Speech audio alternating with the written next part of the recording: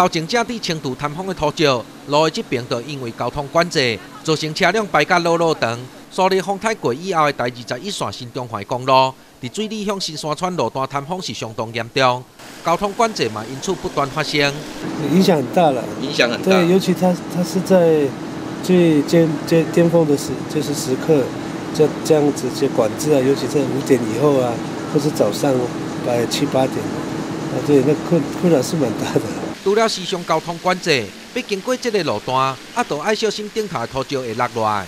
地方因此有要求开辟变道声音。它这条路是都是用管制方式的，管制方式，如果你像大的石头下来，大的土石流下来的话，你就要有很长的时间，对吧？甚至一一天的工作天或者是半天的工作天来做啊，就是很麻烦。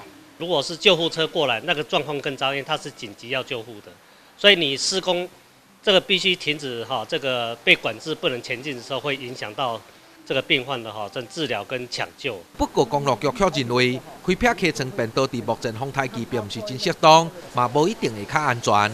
随时好雨或台风来哈，那个陈柳兰溪的水位会暴涨，那施施作变道哈，有它的危险性，而且没有路灯，那有可能那个开车开那边掉下去的，我们也不知道。所以相对上哈，是。走那个信义变道是非常危险的。信义乡农会总干事黄志辉表示，目前正是信义乡农作生产期，现在交通状况对农民造成真大冲击。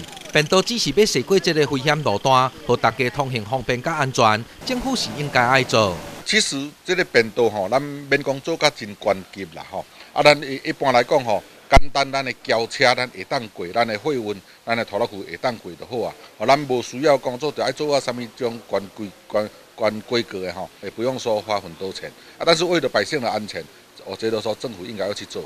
李伟马文君为此亲自甲信义干部团协调，干部团相当坚持变道无适合开票想法。马文君强调，如果无开辟变道，公路单位都必须伫上短时间来改善路况，幸好当地居民一条安全便利的出入道路。啊，要安怎做一个迄区隔，啊，好，啊，较紧来甲遮个，呃，这边落来遮个土石，较紧来甲清除完毕，啊，就近来做防护的措施。我们会要求公路段在最短的时间之内，把这些通通做完成。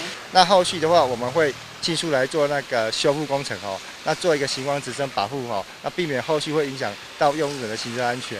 干部段表示，会尽速来改善交通管制状况，后续福建工程，卖确保通行的安全甲顺畅。